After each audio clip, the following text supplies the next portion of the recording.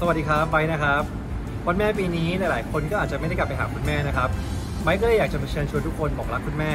ส่งมอบความรักให้คุณแม่ด้วยการกอดด้วยใจนะครับ ถึงตัวจะไกลแต่ใจอุ่นสุขสันต์วันแม่ครับ